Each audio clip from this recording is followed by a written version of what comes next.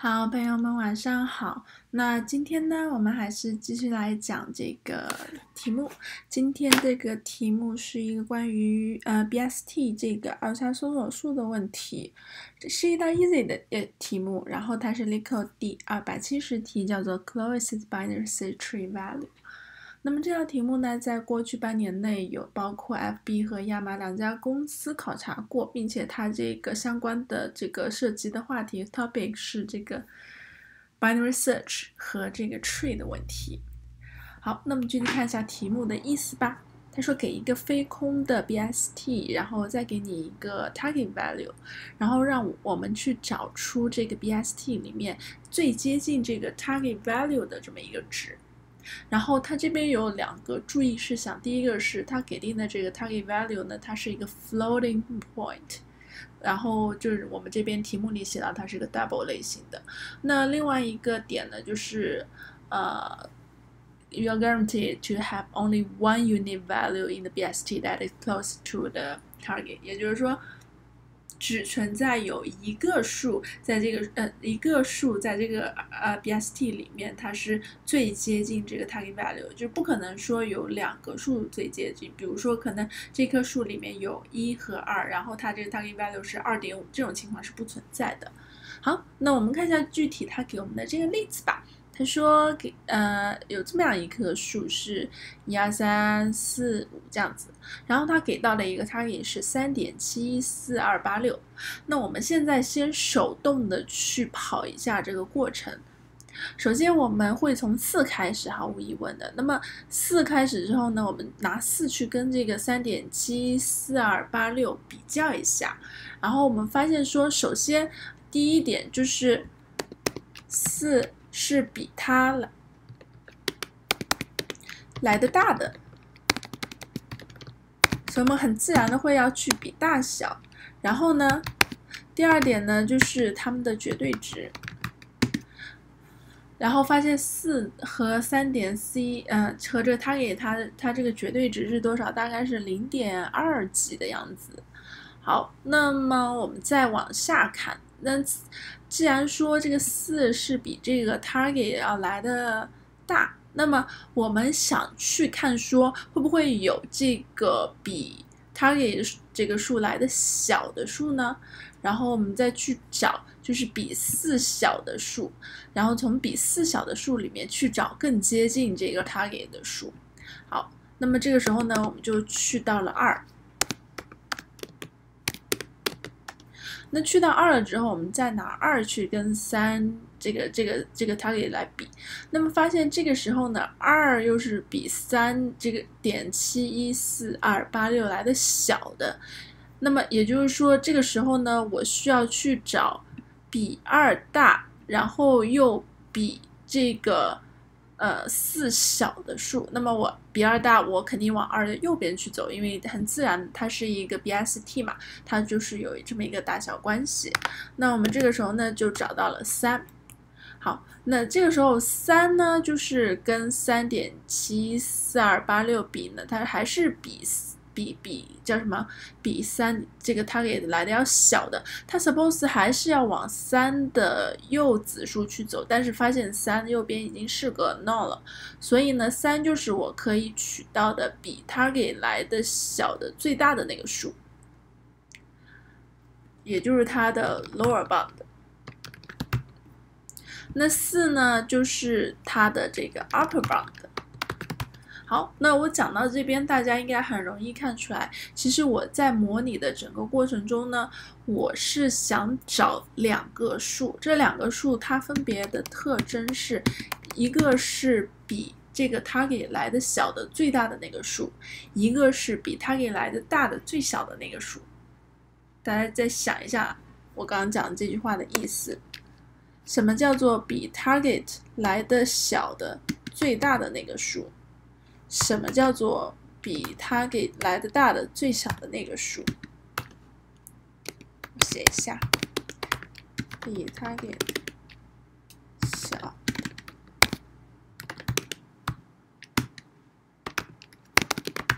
比它给大的好，我把这个话先放在这边，然后一会儿大家可以再去回味一下。那好，这样子的话，其实那思路就很清楚了。我就是找两个数，然后呢，我可以分别用两个 help function 去找到这两个数 upper bound 和 lower bound。那么这样子呢，我们就可以最后在这个主函数里面去做一个比较。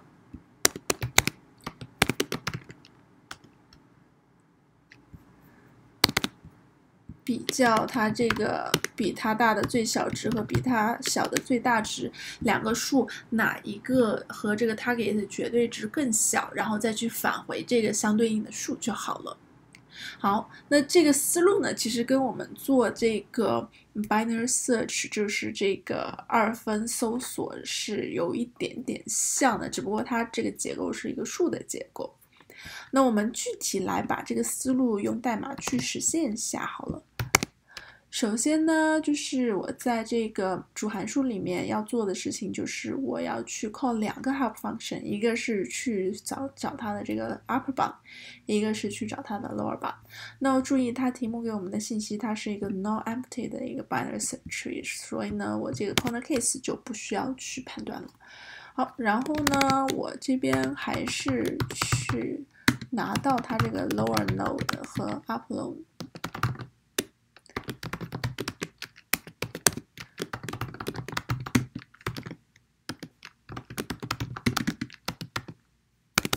Upper bound.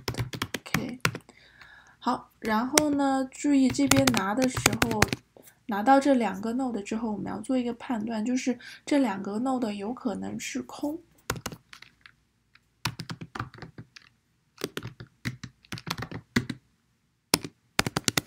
行了吧？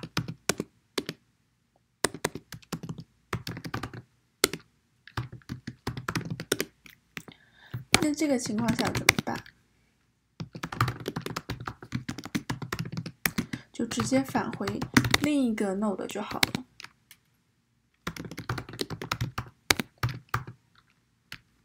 所以这边返回的是 int 类型，所以要取它的值。然后如果说它的 upper node 是空，return lower node。好，这样子。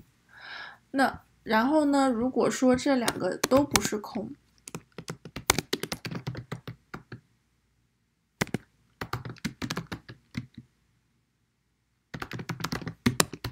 那我就直接比绝对值。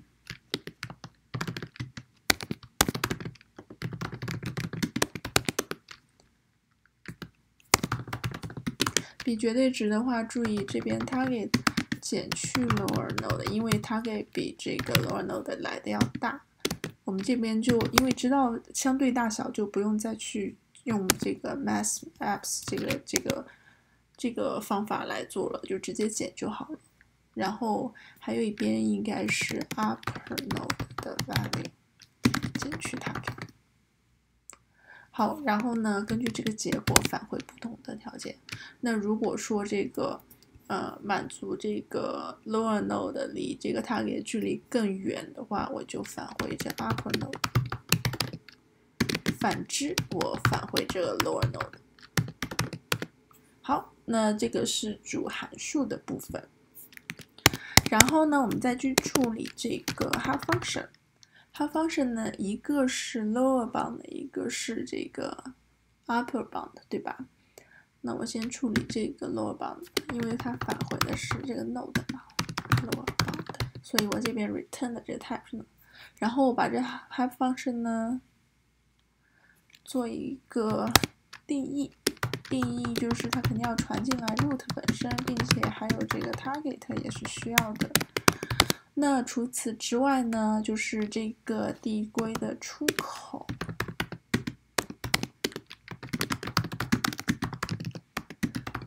那如果它是 no 的话，直接返回 no 就好了。那如果说它这个 target 是大小于等于这个 root 的 value，也就是说这个情况下呢，嗯，target 是相对较小的那个，然后呢，这个 root 的 value 已经是呃比 target 来的要大，或者是等于 target，这个时候呢，我们就可以再往下走，去缩小这个距离，去看会不会有比这个 root 的值更小的、更接近 target 的值。然后我们就是 return 这个 lower bound，去往它左边靠。好，那这是一种情况。然后，那如果说它这个 root 的 value 它是大于 target，也就是说它本身这个 root 值已经比 target 来的要大了，那这个时候呢，呃，就应该怎么办呢？就应该把这个 root 去找到它的右边，嗯。这边说错了，root root 对 root root 已经是小于这个 target，所以就要找到它的右边，找到比当前这个 root 更大的那个数，然后去看是不是更接近这个 target，然后 lower node。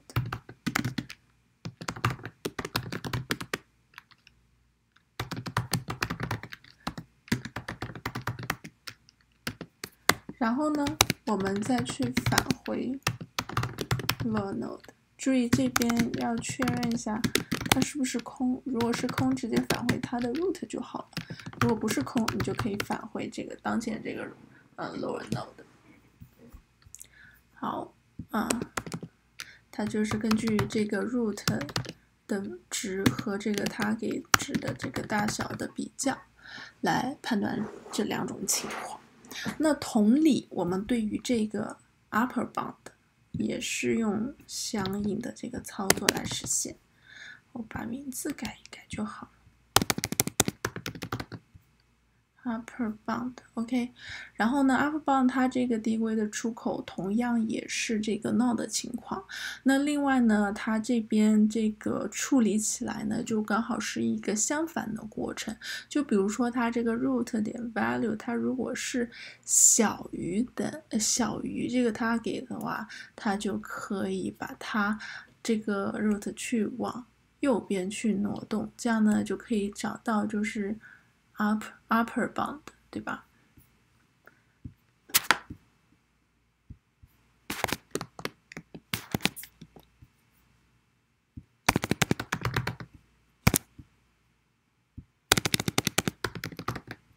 然后呢，如果说它这个 root 的 value 是大于 target 的话，就就说明它应该把这个 root 再往左边去挪动。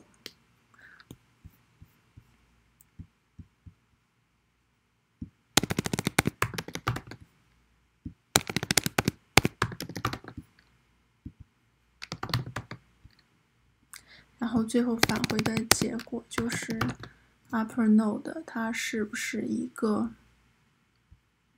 空，然后再去看是返回 root 还是返回 upper node 这样子。好，那么这个部分呢我们就完成了，然后我们去把主函数里面填一填。那这边 lower bound 呢，我需要输的是 root target，同样的这个。upper bound 也是。好，这个情况下呢，我们再去跑一下这个 test case。嗯，这个地方有一点问题，我们来看一下到底哪里出了问题。啊，首先呢，主函数我们是 call 了这两个 help function。一个是 lower node，一个是 upper，呃，一个是 lower bound，一个是 upper bound。然后呢，我们去把这两个 node 做了一个判断，那就是如果说这个 lower node 它是空，就返回 upper node 的值；那如果说 upper node 是空，就返回 lower node 的值。看起来没有问题。那如果说两个都不是空的话，我就比较一下哪一个离这个 target 更近，那近的那个呢就返回。那么这个地方呢，我做了这个 lower node 的比较和 upper node 比较。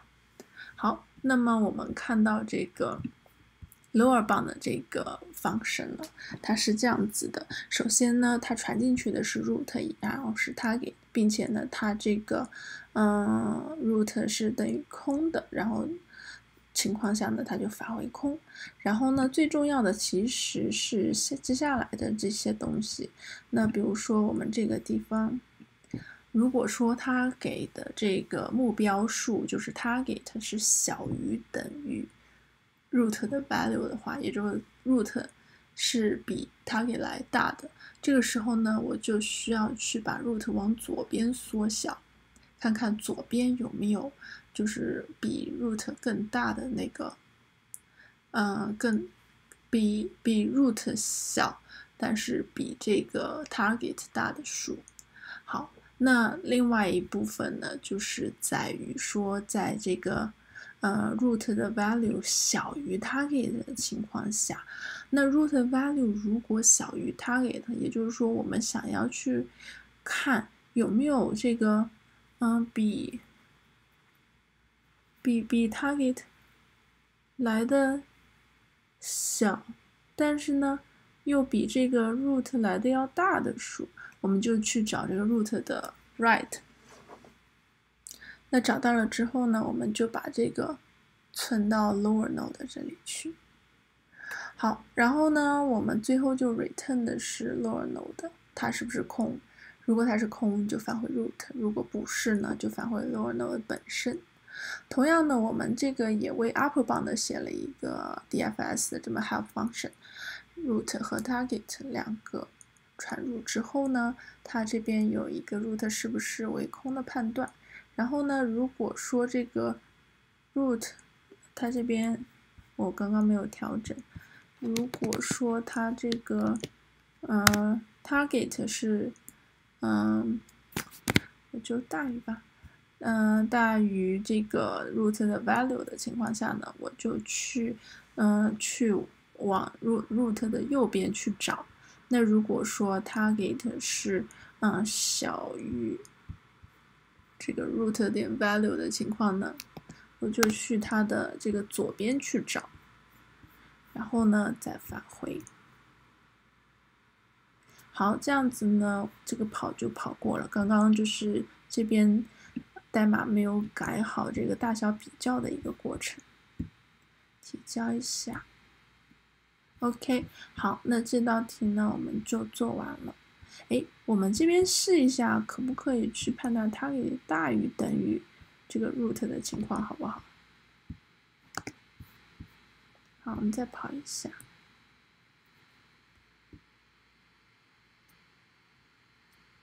嗯，这边就出现了问题。好的，那这样子呢，我就把这个问题先留给大家。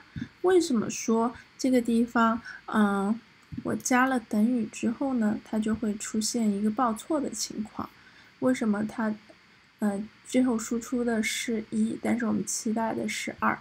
嗯，提醒提示大家一下，就是你可以用一个简单的一个 BST 的图去跑一下这个过程，看一下这个 target 大于 root 点 value 的。时候和 target 大于等于 root 的 value 的时候，这两种情况在跑的时候，在走的时候，具体的区别在哪里？好吧，嗯，另外说一下我们这个。这道题的这个时空复杂度，那时间上来讲呢，其实它是一个 O H 的这么一个时间复杂度，因为，嗯，这个 H 呢就是这个树的高度，但是这个树的高度它最优的话可以拿到 log n，然后如果最 the worst case 应该就是 O N，N 就是这个树的节点量。那么为什么这样考虑呢？因为，呃，这个树。虽然它是一个 BST，但是我不能保证它是一个 balanced tree，也就是它可能不是一棵平衡的树。最糟糕的情况就是这棵树可能就是一个链表一样的存在形式。所以呢，它是我说这边是 OH 的这么一个时间复杂度。那空间上来讲呢，因为呃我们这边也没有去开辟额外的空间去储存那些东西。然后呢，它就是在做这个递归的时候用到了这个这个空间上面的耗费，所以呢，它这个空间上来讲就是一个呃 OH 的这么一个空间复杂度。好，那么这道题目呢，我们先讲到这边，然后大家可以再去自己去手动跑一下整个过程，看看它是怎么样去做每一次的判断的，然后为什么在这个求 lower bound 的情况下呢，我们需要在这个 root 是大于等于 target 的情况下，呃，去我去不断的 call 这个 function，但是。在这个呃 root 等于呃 root value 小于 target 的情况下呢，我只是把这个 lower node 去记录下来。注意一下这个地方为什么会有这样的区别？为什么这里可以直接 return，但是这里需要记录下 lower node？那同理的，跟这个 upper bound 也有一个相对应的这么一个操作。为什么这里是直接 return，而这边需要记录下来这个 root 呃 tree node？好，那今天这道题呢，我们就先讲到这边，然后希望对大家有所收获吧。但是这道题其实这个空间复杂度上面我不是很吃得准，然后如果我讲错的话，也欢迎大家在下面给我留言指正。嗯，那我们先到这边，然后祝大家晚安，拜拜。